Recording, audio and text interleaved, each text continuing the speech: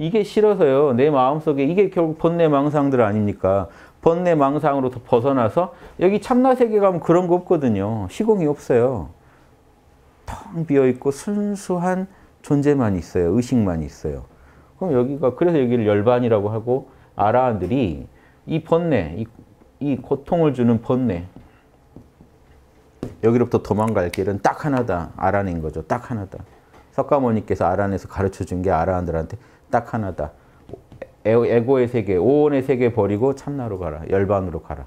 거기는 그런 거 없다. 고통이 없다.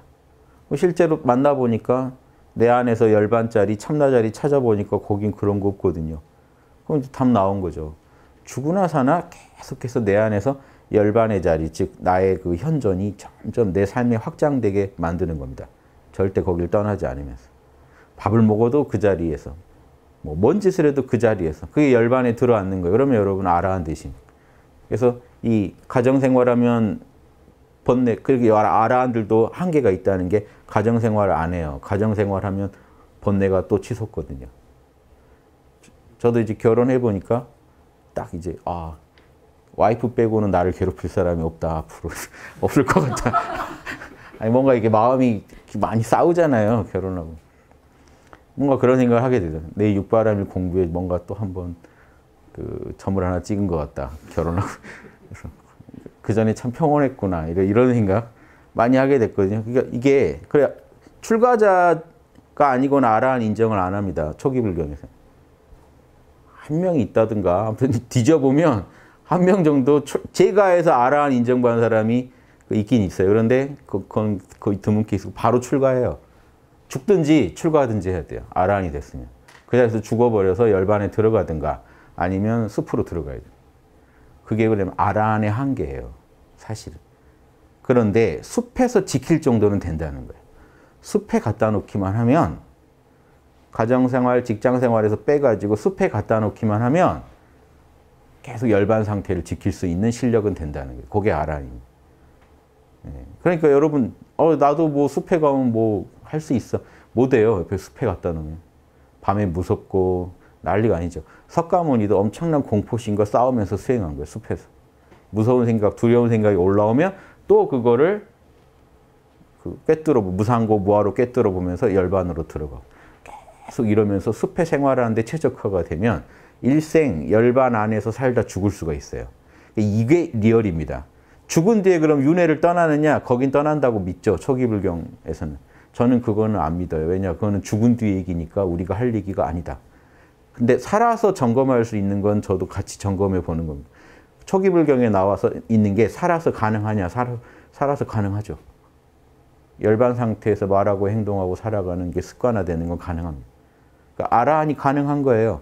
근데 아라한이 죽으면 다 윤회에서 벗어나서 이 삼계에서 사라지느냐, 에고의 세계에서 완전히 사라지느냐, 그건 저는 그거는 제가 뭐 장담할 필요가 없다고 봅니다. 아예 논할 필요도 없고 살아서는 가능하다 분명히. 석가모니가 말한 그 경지가 살아서 가능하다. 그런데 이런 경우는 에고로부터 최대한 벗어나서 참나 안에 참나 안에 안주해서 살아감으로써 가능합니다. 그리고 이제 이 염체들을 만났을 때는 팔정도나 이런 염체 관리법, 아라한들이 할 수 있는 또 이 관리법이 있는데 중요한 거는 아라한들은 소승 성자들은 참나나 이 열반의 세계에 힘에 여기에 51% 이상 이 더 몰입함으로써 이 현상계에서 초연해 줄 수 있는 이 비법을 알아내신 거예요. 그런데 제가 이그 소승성자의 한계는 적극적으로 세상에 나가서 좋은 염체들을 많이 만들어 가지고 좋은 염체가 51% 이상이 되게 해서 카르마를 적극적으로 경영하려고는 안 하신다. 물론 숲에서 숲에서 자기 마음 안에서 탐진치가 올라오면 자비의 염을 계속 하십니다. 예. 그러니까 그것도 그, 그것도 대단하신 거예요. 그것도 보살도예요. 세상을 향한 자비의 염을 계속 해줘요. 모든 존재 행복하기를. 근데 그거랑 실제로 세상에 나와서 행복하게 도와줄 수도 있잖아요. 그 부분에 있어서는 한계가 있죠. 소승 수행은. 출가자 위주의 수행이니까. 그래서 저는 더 적극적인 대승 수행은 결국 핵심이 참나나 열반의 이 비중을 51%내 마음에서 만들어서 즉 이 마음을 초연하게 만드는 이건 방어 쪽이고 적극적인 공세로 카르마를 경영하는 거. 이 부분은 대승이 잘한다. 이 부분은 소승이 가장 그 더 잘할 수도 있죠. 숲에서 방어력은 짱일 수 있습니다. 죽을 때까지 고통을 겪지 않다 죽겠다는 게 목표거든요. 가능하다니까요. 여러분 다 숲에 가셔서 몰라 괜찮아와 계속 그 이 우리 홍익보살 실천 지침 중에 그 앞에 네 개를 계속 그 부분에만 집중하면서 일체가 일체가 무상하고 일체가 내 것이 아니라는 걸 계속 염하면서 꿰뚫어 보고 열반으로 참나 자리로 돌아오고 참나 자리로 돌아오고 요게 이제 생활화되시고 습관화되신 상태. 그런데 저는 카르마를 적극적으로 경영하자는 입장이죠. 대승은 세세생생 윤회하면서 카르마 경영하자는 거예요. 그러면 그 마음은 어떤 비법을 갖고 우리가 만들어낼 수 있는가? 그럼 요거죠. 염체 관리입니다. 결국은. 그래서 여러분 욕망들이 욕망들이 무서운 게 이 욕망들은 건드리기만 해도 폭발적으로 여러분 안에서 힘을 가져요. 왜? 내 무의식에 그동안 내가 계속 좋아해 왔던 것으로 각인돼 있는 거라 건드리면 터집니다. 가만히 있어도 이제 때 되면 올라와요. 제가 술꾼인데 술을 요즘 안 먹었다. 그럼 무의식에서 올라옵니다. 왜 술 안 먹어? 이렇게. 술 생각. 늘 하던 걸 안 하면 무의식에서 자꾸 이렇게 올라와요. 하라고. 그런데 그 생각 하나만 술 하는 게 생각에 딱 지나가기만 해도 내가 바로 붙잡죠. 그 이미 입에 침이 고입니다. 그 이미 몸에서는 이제 빨리 해라. 도파민 나오면서 막 빨리 흥분되면서 이제 빨리 하지 않으면 내가 이제 지금 뭔가 잘못 살고 있는 것처럼 느껴지게 만들어요. 자, 그 정도 강력한 힘으로 염체가 우리의 마음 안에서 힘을 발휘해 버리는데 50, 자, 그 친구들로부터 떠나서 참나 51% 하시려면 어떻게 해야 되겠습니까? 몰라 괜찮아가 생활화 되 계셔야 돼요. 그 강력한 염체가 날 끌고 가려고 하는데 몰라 괜찮아 몰라 괜찮아서 호르몬도 막 이렇게 세로토닌 나오게 만들어서 진정시키실 수 있냐는 거죠. 요거 일단 하실 줄 알았는데 카르마 경영 하려면 요거 하실 줄 알아야 된다. 근데 이거는 아라한들도 잘한다. 그러면 보살로서 잘해야 될 거 뭐냐? 이제 이, 이 단계에서 51% 이상 참나와 열반에 안주하면서 조금 평정심을 찾으셨다면 이 염체들에 대해서 적극적으로 이 염체들을 잡을 수 있는 강력한 양심적 염체들을 만드셔서 자, 두 가지 51%예요. 에고보다 참나 51% 이게 하나가 있고요. 두 번째 51%는 염체들 중에 욕심의 염체보다 양심적 염체가 51% 이상 힘을 가지게 해줘야 여러분이 결국 그 업을 여러분이 원하는 방향으로 바꿀 수가 있어요. 그러니까 이때 뭘 하셔야 되냐? 깨어서 깨어서 육바라밀 분석을 해보시면서 이게 자명해. 이게 모두에게 이로워. 이걸 어기면 누구누구가 피해를 보게 돼 있어. 이건 찜찜한 일이야. 이, 이 말을 강력하게 선언해 주셔야 돼요. 여러분 깨어서 속으로 선언해 하셔야 돼요. 글로도 적고 선언하고 말로도 하고 자꾸 하셔야 아까 그 욕망이 나를 끌고 가는 그 염체보다 양심의 염체가 더 힘이 강력해야 안 갈 거 아닙니까? 그게 찜찜한데도 끌려갈 거잖아요. 분명히 정신 안 차리면 바로 끌려갑니다. 그걸 1차로 보세요. 1차로 몰라를 하신 다음에 자 2차로 자명을 점검하셔서 이 자명한 말을 선언하세요. 그럼 염체가 강해집니다. 내 안에서. 그래서 우리가 경전도 보고 명언들을 막 기억해둬야 하는 이유가 그거예요. 딱 뭔 말을 뭐라고 할 때 내가 탁 받아쳐야 돼요. 너 지금 이걸 놓치고 너 진짜 행복해질 수 있고 저거만 얻으면 천국이 펼쳐질 텐데 저걸 안 할 거야. 그렇게 하면 누구 누구가 상처를 입어. 그러, 그거는 보살도에 맞지 않아. 그건 내가, 당, 내가 상대방이라면 당하기 싫을 일이야. 그걸 해야 돼.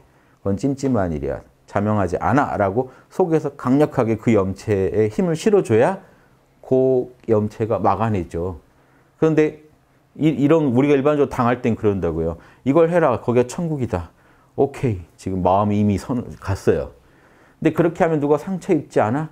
그러긴 한데 이 힘이 하나도 없죠. 그러긴 한데 마음은 이미 이제 정신은 여기 가 있는 거죠. 그럼 이 일은 일어나겠죠. 예, 그뭐 불언간이 일어날 겁니다. 어떻게든. 그러니까 이미 내 마음에서 카르마가 이렇게 움직여가는 게 보이셔야 돼요. 이런 식으로 움직이고 있구나. 그럼 그 카르마를 방향을 튼다는 거는 여러분 뭐 우주를 바꾸고 막 가정을 바꾸고 이전에 여러분 마음을 경영하실 수 있어야 돼요. 여러분 마음이 지금 하나의 나라고 회사예요. 지금 이 염체들 하나하나 목소리가 뭡니까? 나 지금 뭐 집에 가고 싶어. 나 지금 뭐 지루해. 나 뭐 먹고 싶어. 뭐 얻고 싶어. 사고 싶어. 이거 지금 다 뭐죠?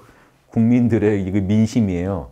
그러면 민심이 욕심으로 확 기울 때 양심적인 이런 선비들이 있어가지고 깨어있는 보살들이 있어서 한 목소리를 내서 이쪽으로 또 끌고 와야 될 거 아니에요. 그리 가면 안 돼 하고. 그럼 그런 여론을 만들어 주시지 않으면 이 마음이 관리되겠냐. 여러분이 대통령입니다. 여러분 마음에서는 여러분이 사는 세계에서는 여러분이 리더예요. 남이 리더라고 생각하세요.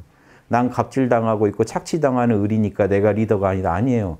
착취당하기로 선택한 것도 여러분이에요. 지금 그 자리에 계시게, 계시는 선택을 한 것도 여러분이고 여러분 우주의 주인은 여러분입니다. 여러분이 선택을 하셔야 돼요. 다양한 염체들. 지금 죽겠는데 지금 나가면 너무 힘들어져. 그러니까 난 여기 있어야 돼. 여러분 설득하고 있는 것도 여러분이고 거기 왜 있어야 되는지 얘기하는 것도 여러분이고 다른 대안이 있는지 또 찾아야 될 것도 여러분. 지금 다 여러분이 주인공이죠. 현실의 힘의 강약은 다 있지만요. 어떤 상황에서건 결정은 여러분이 하는 겁니다. 그러니까 여러분이 좋은 결정 하시려면 몰라 하고 깨어서 자명한 염체의 힘을 실어 주셔야 돼요. 선언을 해 주셔야 돼요. 난 이걸로 할 거야. 저건 찜찜해. 이건 자명해. 요 말을 해 주시는 거랑 안 하고요. 이미 마음은 욕망적으로 끌려가고 있는데 눈치만 보고 아, 이리 가고 싶은데 누가 뭐 보는 사람 없나? 아니면 이걸 누가 찜찜하다고 할 사람 있나? 자기는 알죠. 찜찜하다는 거 아는데 양심 분석도 그럴 땐 일부러 안 하십니다. 이거 하면 백일화에 드러나거든요. 내가 문제가 있다는. 어, 이렇게 양심 분석을 일단 피하고 일단 하고 싶거든요, 마음이. 문제는 이렇게까지 오기, 오고 싶지 않다는 거예요. 강력한 염체가 딱 등장하면 여러분은 이미 하고 있습니다. 그렇죠? 이, 걸할 생각도 못하고 하고 있어요. 거기서 몰라만해서 빠져나와도 아라한입니다. 대단하신 거.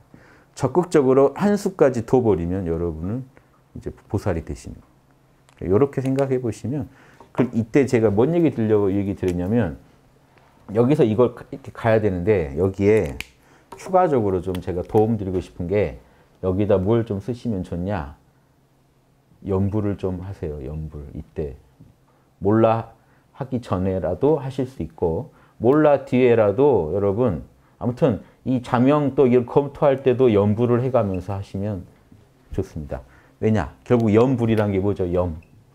염이에요. 염체예요. 내가 염체를 만드는데 부처님을 염한다는 거예요. 그럼 이 참나를 염하는 것도 염불입니다. 불성을 지금 알아차리고 있는 거니까. 그런데 인간 부처님이요. 인간 중에 불성을 구현한 신성을 구현한 부처님, 예수님, 관세음보살, 나무 아미타불, 아미타불 같은 분을 염해 주시면요. 여러분 정신이 힘을 얻어요. 깨어있는 분하고 공명하면서 힘을 얻습니다. 그 가피가 필요해요. 지금 몰라 할 때도 필요하고요. 사실은 자명한 선택할 때도 필요합니다.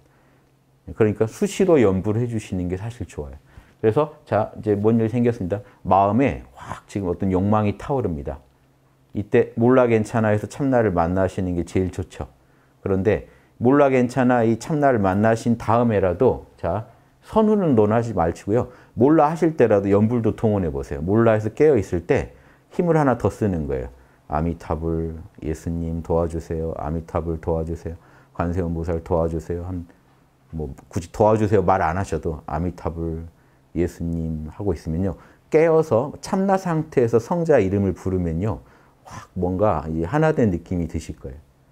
제가 예전에 이제 어머니 돌아가시고 그 어머니 막 그리울 때는 참나 상태로 몰라 해서 둘이 아닌 상태니까 모두가 하나인 상태. 예수님과 우리도 한 성령이라고 했습니다. 성경에서. 한 성령, 한 불성 자리 들어가서 그 이름을 어머니하고 부르면요. 뭔가 이렇게 훈훈해요. 함께 있는 것 같은 느낌이 들어요. 연불할 때도 그렇게 하셔야 돼요. 그러니까 불성을 염할 때는 그냥 깨어 계시는 게 그냥 몰라가 그대로 연불이 되는데 지금 인간 부처님, 인간 성자를 여러분 염하실 때는 그분 이름을 외워주시면 여러분 그 여러분과 영이 원래 한 영이라 혼이 공명을 하게 되면 육까지도 같이 변합니다. 몸에도 에너지가 변해요. 해보세요. 한 1시간만 나무아미탑을 아니면 예수님 본인 마음이 더 끌리는 쪽으로 어차피 제가 볼 땐다 십지보살들이시니까 한 분한테 그, 그 어, 한 분이라고 보니까 이름은 다르지만 이렇게 해보세요. 편한 이름으로. 다 맡기고 쉬어보세요. 예수님이 그 방법을 성경에 친절하게 해놓으셨어요. 모든 수고하고 짐 무거운 짐 든 자들아 내 멍에를 메라. 나한테 그 짐 맡기고 예, 그러면 쉬면 진정한 내가 안식을 줄 것이다. 내 멍에를 메라. 그럼 나랑 연결해라. 그러면 안식, 진정한 안식을 줄 것이다. 그러면 여러분 이런 염체들을 다 이걸 공양해 버리시면 돼요. 욕망이 올라와요. 부처님 이거 아주 싱싱한 욕망입니다. 바칩니다. 전 모릅니다. 부처님 겁니다. 나무 아미타불. 예수님 무거운 짐 달라고 하셨죠. 하나 보냅니다. 보내고 쉬는 거예요. 그러니까 이걸 이겨내는 것도 예수님이 도와서 참나와 예수님이 도와서 이게 아버지와 성자가 성부, 성자, 성령이 도와서 내 안에서 역사를 하실 거다. 내가 못해요. 못 이겨요. 사실. 덤비면 바로 깨집니다. 여러분 아실 거예요. 이거 덤빈다고 해봤자 10분 후에는 하고 있을 거라는 거 아신단 말이에요. 인간은 놀랍습니다. 맨날 깨지면서도요. 또 해요. 또 모르지 하고 또 갑니다. 자기가 일부러 좀 모르는 척 하는 거죠. 하고 싶으니까. 하고 싶으니까. 하고 싶어라고 말하기는 좀 민망하고 뭐 모르지 뭐 또 이번엔 다를 수 있지. 자기가 자기를 속이는 거죠. 100%또 하고 있죠. 그 조건 맞으면 가고 있어요. 사람이. 이게 하나 이게 또 프로그램이거든요. 성격이나 이런 것도. 이게 내가 익숙하게 해가지고 내가 만든 프로그램이죠. 원래 선천적으로 깔려 있는 게 아니더라도 내가 노력해서 만든 프로그램이라 그 조건 맞으면 그거 하고 있어요. 그러니까 그걸 연구하셔야 돼요. 내가 100% 하고 있는 것들이 뭐가 있는지 그 조건 되면 무조건 하고 있는 거 연구하셔서 그 조건이 형성돼 가고 있으면 지금 카르마가 익어가고 있는 거죠. 열매를 맺기 위해 움직이는 거니까 조심하세요. 그때 하실 수 있는 게 몰라 괜찮아. 그리고 본인이 스스로 깨어있는 힘만으로 부족하신 것 같으면 진짜 잘 깨어있던 도인들을 부르세요. 도와달라고. 그럼 뭔가 에고가 꽉 차면서 든든해지면서 뭔가 응원군이 이제 도와주는 것처럼 힘이 납니다. 그것까지 갖다 쓰셔야 돼요. 안 그러면 에고가 힘들어요. 현상계에서. 자, 이거 방어, 방어까지 잘해도 또 공세는 또 다른 문제입니다. 그러니까 이 좋은 카르마까지 지으시려면 방어할 때나 공격할 때나 성자의 도움을 구하세요. 그러니까 꼭 뭘 이루어 주세요가 아니라 그냥 나무 아미탑을 다 맡깁니다. 맡기는 기도라도 하세요. 바라는 기도. 나는 이걸 바랍니다. 이렇게 됐으면 좋겠습니다도 필요하면 하셔야 돼요. 공, 공격하실 때는. 근데 이 지금 중요한 거는 일단 맡기세요. 맡기고 보는 거. 일단 맡기고. 내 뜻대로 말고 참나 뜻대로 하세요. 이렇게 참나한테도 맡기고. 그게 몰라죠. 그리고 나는 모르겠습니다. 예수님이 알아서 도와주세요. 예수님이 알아서 했어요. 관세음 보살이 알아서 날 인도해 주세요 하고 맡겨보세요. 맡기고 좀 힘을 빼고 쉬시면 방어도 잘 되고 자명한 길로 여러분 업을 짓기도 잘 됩니다. 힘이 나요. 깨어서 이제 자명한 생각을 했어요. 이걸 이제 밀어붙이면 돼요. 이건 자명한 일, 이건 찜찜한 일이야. 내가 선언했는데 내 마음에서 이 말이 힘이 없어요. 욕망이 더 힘이 있어요. 그때 또 성자를 부르자고요. 이, 이 욕망 예수님께 바칩니다. 그 예수님과 함께 나는 예수님의 길, 걸으셨던 길을 같이 갈 겁니다. 영감을 주세요. 내게 용기를 주세요. 지혜를 주세요. 능력을 주세요. 이렇게 빌면서 가자고요. 그러면 또 안에서 힘이 나요. 참나가 내 안에서 더 큰 힘을 내요. 그렇게 성자와 연합해서 가면. 요거를 제가 저도 써보면 분명히 그런데 이거를 말씀 안 드릴 수가 없어서 말씀을 드립니다. 저는 그거 몰래 쓰면서 여러분들한테는 몰라 괜찮아와 자명만 하세요. 그러면 좀 그렇잖아요. 제 양심이 또 찜찜하잖아요. 저는 몰래 막 약 빨면서 가는데 여러분들한테는 아유 무슨 사람 약 약을 왜 필요합니까? 수행 수행이 전부지 막 이런 말 할 수는 없죠. 그러니까 이런 수행 이것도 수행이니까 이런 수행도 같이 쓰셔야 돼요. 예전 모든 성자를 또 다 같이 썼어요 이거. 그래서 그러면 실제 해보세요. 그러면 몰라 괜찮아 하는 하면서 한 시간 있는 것도 좋은데 중간 중간 써보세요. 그러니까 막그 나무아미타불 나무아미타불 하시라는 게 아니라 간간히 한 번씩 맡겨보세요. 그 참나로 깨어 있을 때 나무아미타불 한번 이름 불러보세요. 그때 또 에너지가 어떻게 변하나, 내 마음이 어떻게 변하나. 그래서 느낌이 좋고 아 이때 더 내가 편하게 깨어 있을 수 있는 것 같다 싶으면 쓰시는 거죠. 그래서 내가 진짜 힘든 상황에서 바로바로 바로 그 도움을 요청해서 쓰시는 거예요. 이렇게 해야 겨우 우리가 겨우 그래야 겨우 있는 수 다 써야 염체랑 겨우 싸워볼 만해요. 안 그러면 백전백패가 많습니다. 염체를 진짜로 내가 그러면 나를 정말로 무섭게 흔드는 염체를 방어해내고 극복해냈을 때 오는 그 성취감은 엄청납니다. 그러면서 아 이렇게 보살도를 닦는구나 하는 걸 확실히 아실 수 있어요. 나, 나부터 이렇게 살고 남들도 도와주자. 저도 그래서 저부터 그렇게 써보고 여러분들한테 이런 정보를 또 공유하는 겁니다. 이렇게 공부하셔야 여러분 분명히 이, 겨내실수 있어요. 여러분 지금 그래서 연불이라는 게 또 보세요. 연불이라는 게 노는이 연불한단 말이 왜 나오냐면 여러분 놀면은 망상이 폭주합니다. 노는이 연불하라는 건요. 잡념에 빠져 있느니 염, 뭘 염하라고요? 부처를 염하고 있으라면 부처의 이름, 구체적으로는 우리가 부처의 이름을 염하죠. 그거 염하는 시간에 우리가 잡념에 힘을 덜 쓰겠죠. 잡념들에게 여러분 마음에 관심을 주는 게 힘이거든요. 관심을 덜 주는 게 여러분 관리하는 겁니다. 벌써. 그러니까 아무 일이 없더라도 여러분 나무아미탑을 예수님 하고 계시면 노는이 그 시간에 뭐 또 인터넷 하고 있겠죠. 스마트폰 보고 있겠죠. 그 시간에 부처의 이름, 신의 이름을 이렇게 외는 게요. 벌써 그게 염체 관리하는 겁니다.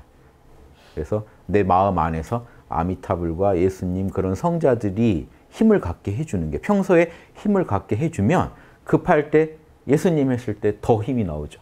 왜? 평소에 신뢰관계가 더 구축돼 있습니다. 이런 식으로 관리하시는 게 몰라 괜찮아만으로 해결되시면 몰라 괜찮아 하시고요. 급할 때는 여러분 성자들의 도움을 받, 어, 청하셔서 이게 저 이, 이게 지금 다른데 그럼 기복이랑 뭐가 다르냐? 우리는 구체적인 무슨 기도를 먼저 하시기 전에 그것도 하실 수 있는데 맡기는 기도를 많이 하시라는 거예요. 평소에 하나가 되는 기도, 그 성자와 하나가 된다는 게 더 중요하다는 거예요. 뭘 요청해서 받아내는 게 중요한 게 아니라 몰라 괜찮아 참나 상태에서 성자 이름을 부르면서 그 성자와 함께 공명해서 내 마음과 내 몸까지도 그 성자와 공명하게 평소에 염체 관리를 해 나가는 거. 이게 포인트입니다. 그냥 단순한 기복을 제가 얘기 드리는 게 아니에요. 기복까지 다 포함한 그런 성자와 하나가 돼서 함께 가라. 이게 성경에서 예수님이 간절하게 제자들한테 바라는 거예요. 제발 나랑 하나가 돼서 내가 아버지랑 하나듯이 너희도 나랑 하나가 돼서 함께 가면 너희가 보세요. 연부를 통해 참나를 만나면 어떻게 되죠? 예수님 하다가 성령을 만나는 거죠. 나를 통해 성령을 만나리라. 나를 통해 안식을 얻으리라. 그러면 그러면 이 말이 나옵니다. 그러면 성령도 너희와 영원히 함께 할 것이고 나도 너희랑 영원히 함께 할 것이다. 영원히 함께 하면서 도와주겠다고 계속 얘기를 하세요. 예수님. 그러니까 나 필요하면 빨리 부르라는 거예요. 부르면 너의 영혼에 힘이 날 거다. 지혜가 감돌 거다. 사랑이 터져 나올 거다. 그래서 문제를 해결할 수 있게 도와줄 거다. 이게 요한복음에 보면 전체 그 얘기예요. 특히 14장, 15장, 16장 한번 읽어보시면 이 얘기만 계속하고 계세요. 그만큼 엄청 공을 들여서 하신, 얘기하시는 부분이. 예. 그런데 이제 재미있는 게 관세음은 그러면 우리가 이제 불교분들한테는 누구를 부르실 겁니까? 제가 관세음 많이 권하는 게뭐 이렇게 근거 경전적 근거가 있어야 힘이 더 나시잖아요. 법화경 중에 법화경 중에 보시면요. 관세음 보 관세음 보살 보문품이라는 게 있어요. 그럼 요거는 따로 관음경이라고 불립니다. 요 품 하나만 따로 독립해서 관음경 그래요. 얼마 안 되죠 분량이 이 정도에 요것만 따로 관음경이라고 관세음경이나 관음경. 예. 여기 원래 독립경전이에요. 이걸 집어넣은 거예요. 법화경 안에다가. 이게 되게 중요한 부분이라서 그러니까 이, 이 경이 석가모니가 위대한 이 부처님이라는 경인데 그 안에 관세음한테 비를 하는 내용을 또 넣은 거예요. 이게 아무튼 필요하니까 넣어놓은 거죠. 중생들한테 되게 요긴하니까. 그래서 그 이런 것도 재밌습니다. 법화경이면 아미탑을 관세음만 이 극락을 경영하는 게 아니라 그때까지 그 관념이 그랬거든요. 아미타불이나 관세음 보살 같은 대승 불보살이 불국토를 이 현상계 안에서 경영하고 있고 석가모니는요. 열반에 들어서 사라지셔 버렸죠. 이 우주에서. 초기 불경 1호는 그렇잖아요. 그러니까 대승에서는 불보살이 이 우주 안에 우리랑 함께 호흡해야 돼요. 안 그러면 못 도와줘요. 열반에 든 사람은 우리를 못 도와줍니다. 지금 우리랑 함께 이, 이 시공 안에서 살아가는 자만이 우리를 도와줄 수 있어요. 그래서 예수님도 천국에 가서 너희 도와줄게. 그리고 지상에 천국을 만들자. 앞으로. 다시 와서 내가 꼭 만들게. 이, 시, 이 시공 우주 안에 있는 거예요. 그래서 그 성경의 주제가 뭐죠? 영생. 영원히 살아야 도와주죠. 영생과 뭘 만들어요? 영원히 살면서 천국이요. 영생과 천국 그리고 양들의 구제, 백성들의 구제가 포인트죠. 법화경의 핵심 포인트는 똑같습니다. 영생, 불국토, 중생구제. 이게 지난번에도 한번 제가 강의에서 올린 적이 있어요. 그러니까 여기 보시면 이제 초기 초기 불경이랑 완전 이건 적대적인 경전이라서 이 경전이 맞으면 초기 경전이 잘못된 게 돼요. 왜냐? 이 경전의 내용은 석가모니가 나 그때 열반에 든다고 하고 너희랑 헤어졌잖아. 뻥이었어. 나는 나는 뻥 그 영생을 얻은 존재야라고 주장합니다. 법화경 소개예요. 그냥 제가 좀 이따 관세음보살 좀 읽어드리려다가 법화경 소, 소개 잠깐 해드리는 게 열의 수량품이라는 게 따로 있어요. 열애가 열애는 무량한 수명, 영생을 얻은 존재다라는. 영, 여기서 영생은요 사바 세계에서 영원히 산다는 걸 말하는 거예요. 열반도 일종의 영생일 수 있죠. 그런 영생이 아니고 그래서 보시면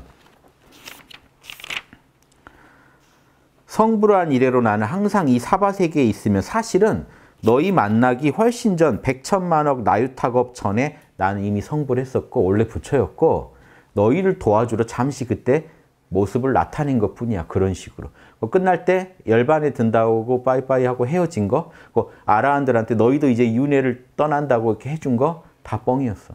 그게 방편이었어. 이 말을 해버립니다. 나는 사바 세계에 늘 있었고 수많은 나라에 내가 세계 법계에 내 모습을 놔두면서 중생들을 인도하여 이롭게 하고 있다. 홍익 중생하고 다, 하고 다니는 존재다. 열반에 든 적이 없다라고 얘기해 버려요. 이 말이 맞으면 초기경은 다 잘못된 게 되기 때문에 양립하기 힘든 경입니다. 그래서 다 방편이었어. 그래서 여러 곳에 내가 태어나면서 수명이나 그런 기간도 다르게 말하고 다녔어. 또 열반에 들 것이다 라고 말하고 다닌 것도 다 방편이었어. 사실은 부처는 어, 열반에 들지 않으면서 열반에 든다고 말하는 거야. 방편으로. 내가 열반에 들지 않으면 너희들은 방자하고 교만해져서 게으름 부릴까 봐 내가 그렇게 했어. 성경에서도 예수님이 내가 가야 너희가 성경, 성령을 만나. 비슷한 얘기를 하십니다. 그래서 지금 영생이 한 품을 차지하는 거예요. 부처는 사바세계 영원히 계신다.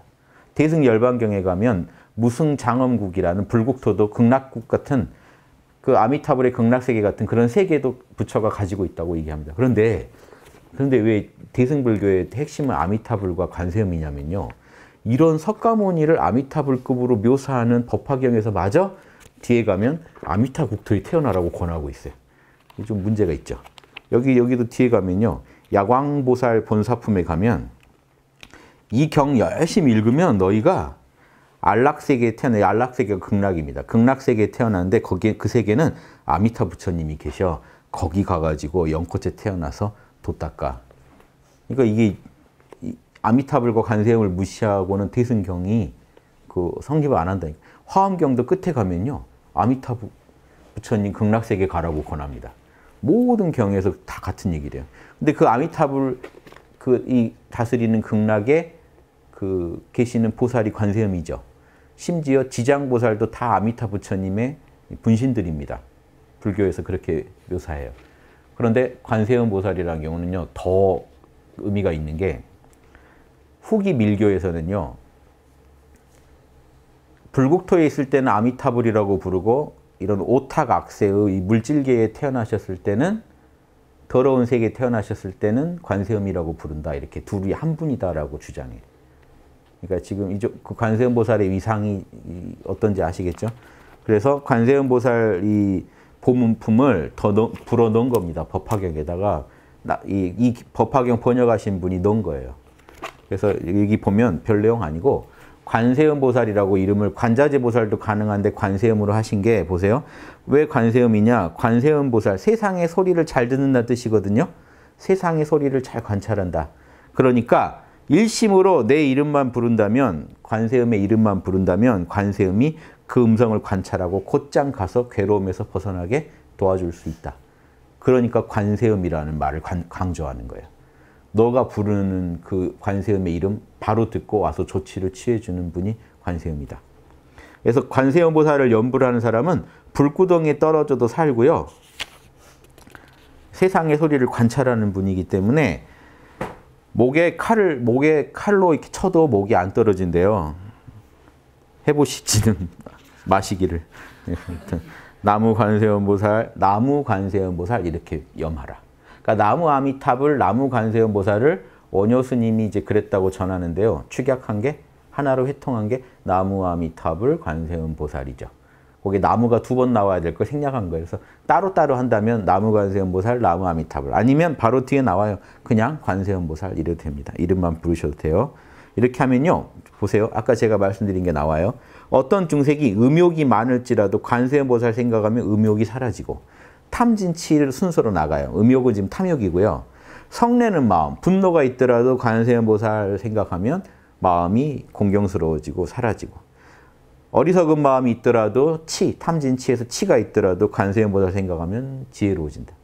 그 마음 관리의 핵심 비법으로 관세음보살을 권하는 겁니다. 이런 부분이 성경이랑 거의 그대로 맞나요. 그러니까 잘 활용하시라고 말씀드립니다. 여기 뭐 원하실지 모르겠는데 이것도 있습니다. 아들을 낳고 싶으면 관세음하면 복덕과 지혜를 겸비한 아들을 낳고요. 딸을 원하시면 관세음 관세음 하시면 단정하고 어여쁜 딸을 낳는답니다. 아무튼 그렇대요.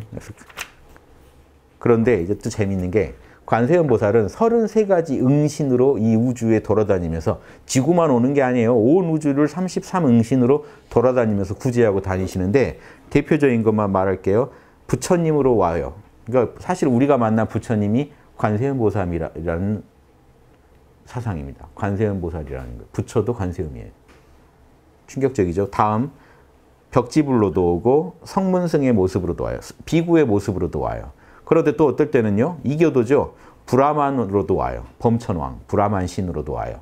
또 어떨 때는 제석천왕, 인드라 신으로도 와요. 자제천왕, 이분은 비슈누 신입니다. 비슈누 신으로도 와요. 대자제천왕은 마하 이게 그 시바라죠. 마헤슈라 시바 신입니다. 시바 신으로도 와요. 그리고 왕으로도 오고 장군으로도 오고 재벌로도 오고 거사로도 와요. 유마거사죠. 그러니까 이 지구상에 나투는 이런 모든 모습들이 다 관세음 보살일 수 있다라는 식으로 몰고 갑니다. 그래서 33가지 몸에는 어린이로도 와요. 어린 남자, 어린 여자. 그 어린 남자, 어린 여자도 무시하면 안 돼요. 여러분 와, 힘들어 죽겠을 때 어떤 꼬맹이가 지나가다가 몰라 해 하고 가버리면 관세음 보살일 수도 있는 거예요. 빨리 몰라 하시면 돼요. 어디 꼬맹이가 이러지 마시고 관세음 보살. 이렇게 살면 또 재밌겠죠. 이거 제가 하나 대충 읽어드리는 거예요, 이게. 그래서 이 관세음 보살만 염하면 그 어떤 환난에서도 도움을 주니까요. 이 사바 세계에서는 모두 관세음 보살을 두려움을 없애고 평안을 주시는 분이라고 일컫느니라. 그럼 이거 이거 예수님으로 바꾸면 여러분 성경에서 못 찾아냅니다. 불경인지 성경인지 모르신다고요, 실제로. 왜? 요한복음에서도 예수님이 내가 평안을 준다 그랬거든요. 두려워하지 마라. 평안을.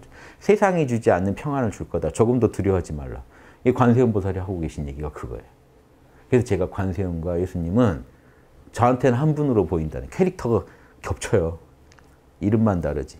근데 이름도 들어가 보시면 관세음이 세상의 소리를 다 듣고 내, 그, 내 이름으로 간구하는 말 다 들어주시는 분. 예수님은 어떤 분입니까? 내 이름으로 간구하라 내가 다 들어줄 거예요.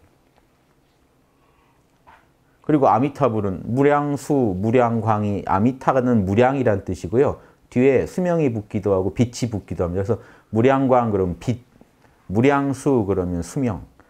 근데 이제 요한복음에 보시면 예수님이 그 요한복음 1장에 생명이자 빛이라고 하시고 생명 그러니까 예수님을 만약에 불, 부, 불교 쪽에서요. 부처라고 부르면 어떻게 부, 부를까요? 생명불, 영생불. 영생불이지 않을까요? 예수님의 제일 핵심은 영생 가르쳐 주러 오셨으니까. 또 빛으로 오신 분이죠. 빛, 빛불. 그러면 이걸 번역하면 무량수불, 무량광불이 되는 거예요. 이렇게 서로 만나니까 제가 이 얘기 드리는 거는 둘이 한 분이다라고 말할 물증은 없어요. 근데 제가 불경을 공부하고, 공부하고 성경을 공부해 본 바로는 한 캐릭터라든 한 캐릭터로 만나더라는 거죠. 그래서 제가 이걸 소개해 드리면서 여러분들이 누구를 염하건 여러분 마음에 그 와닿는 분 염하시면 다 통한다는 얘기를 드리고 싶으니까 급할 때는 예수님, 관세음 보살 아무나 염하세요. 몰라 괜찮아로 일단 참나를 만나시고요.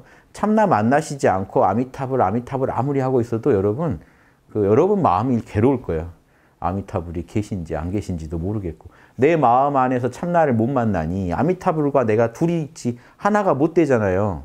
참나 안에서만 우리가 하나가 될 수 있어요. 그러니까 깨어서 아미타불을 해야 여러분 하나가 됩니다. 아니면 아니면 연부를 먼저 하는 경우에는 아미타불 할 때 몰라가 돼서 깨어나 버리셔야 돼요. 예수님 하면서 깨어나야 돼요. 예수님 하면서 예수님한테 모든 내 근심 걱정에 염체를 다 맡기면 어떻게 될까요? 깨어나겠죠. 아미타불 기도를 혹시 연부를 먼저 한다면 그런 식으로 하면 그게 연불선이 돼버립니다. 자, 아시겠죠? 좀 정리해 볼게요. 연부를 먼저 하셔도 좋아요. 단 연부를 하면서 참나를 만나셔야 됩니다. 참나를 만나신 뒤에 연부를 하셔도 돼요. 그럼 연, 이 참나의 힘이 내 안에서 더 확장됩니다. 그렇죠? 그리고 이 틈날 때마다 이 노는 이 잡념에 빠져 있느니 부처님 이름을 외우세요. 연부를 하세요. 아니면 몰라 하세요. 그래서 지금 이 몰라를요 수시로 하세요.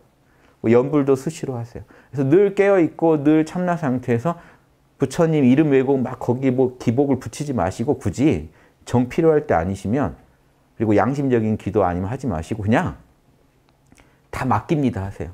저보다 더 이 지혜롭고 자비로우신 관세음보살, 예수님 다 맡깁니다. 맡기고 전 깨어 있겠습니다. 제 무거운 짐 맡기고 좀 안식하겠습니다. 이렇게 하면서 계속 평소에 수행하다가 자명한 판단해야 될 때는요. 딱 깨어서 속으로도 자명이 선언하시고 관세음보살, 예수님 예, 도와주세요라는 요청도 하세요. 내가 이 염체를 예, 붙잡고 51% 이상 강하게 이 양심적인 생각을 지켜나갈 수 있게 도와주세요 하고 또 도움을 요청하시면서 살아가신다면 에고는 중생은요 이런 식으로까지 관리 안 하시면 힘들어요. 늘 그냥 넘어져 있고 늘 끌려가고 예. 깨어서 이렇게 지키기도 힘들거든요. 그래서 오지가면 아라한들이 숲에서 안 나올 안 나오고 거기 있겠어요. 주 본거지를 거기로 하겠어요. 또 이제 거기서 이제 깨어 있는 아라한들 공부 좀 되는 아라한들은 밖에 나와서 사람들하고 수작도 합니다. 물론 하는 거 다 아는데 그래도 본거지가 숲이죠. 예. 그게 차이가 있어요. 보살들은 본거지가 이 사바세계 이 현장이어야 돼요. 사바세계 중에서도 정말 사바사바한 곳에 가서 계셔야 돼요. 사바가 뭔 뜻이냐면 인욕이라는 뜻이에요. 참아라는 뜻이에요. 참아라 세계예요. 참아야 되는 세계. 그러니까 곳곳에서 여러분 참으셔야 되거든요. 참고 그때 참을 때 억지로 참으시면 그거 다 병되죠. 감정을 억지로 억지로 억지로 화가 나는데 누르고 계시면 그거 큰병 되죠 나중에. 그게 몸에 영향을 주죠. 안 좋은 영향. 자, 강력한 분노의 염체가 올라왔는데 막 억지로 내가 이걸 껴안고 누르고 있다. 그럼 그게 이제 내 몸에까지 무리를 주죠, 분명히. 체험하잖아요, 우리가.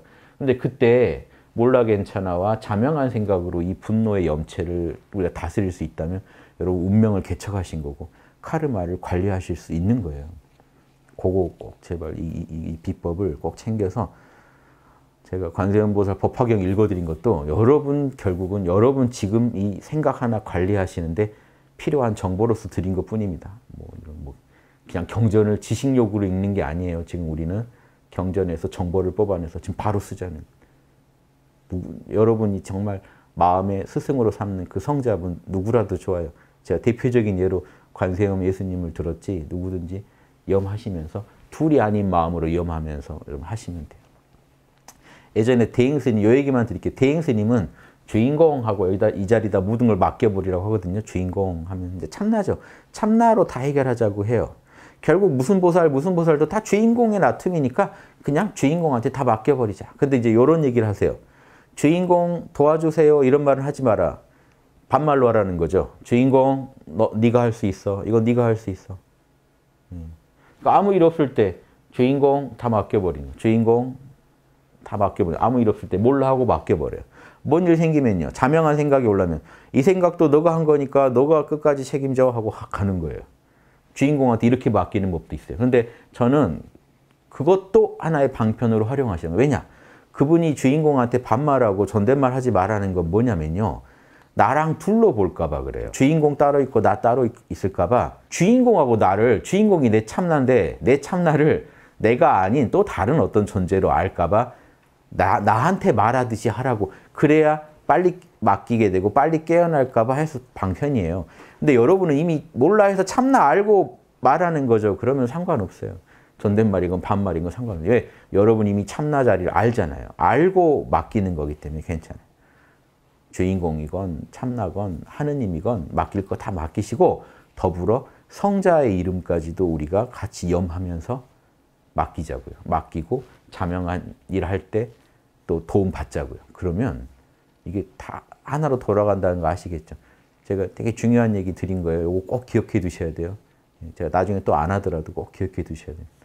이렇게만 관리하시면 여러분들 분명히 오늘 하루부터 분명히 변화가 있으실 거예요. 집에 집에 가시는 길에도 몰라도 몰라 적절해서 깨어나시면 관세음보살이건 예수님이건 성자의 이름 여러분이 제일 마음에 담고 있는 성자 이름 외시면서 가만히 쉬어보세요. 그분과 하나로 공명하는 시간을 가져보세요. 여러분 영, 이 영혼이요 힘을 얻어서 이런 염체 생각을 관리하는 이, 그 힘이 커집니다. 그걸 가지고 여러분 위기도 돌파하시고 카르마도 예, 경영하시면 좋겠습니다. 마치겠습니다.